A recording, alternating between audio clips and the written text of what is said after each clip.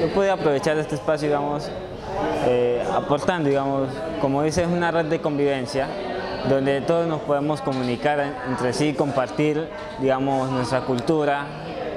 nuestra, digamos, digamos lo que queremos, digamos, que pasen, digamos, en nuestros lugares de residencia. Lo que más me ha gustado es, digamos, la, la, la interacción que hay con los, con los presentes, aquí presentes, porque podemos interactuar aquí, comunicarnos nuestras ideas, igual con ustedes,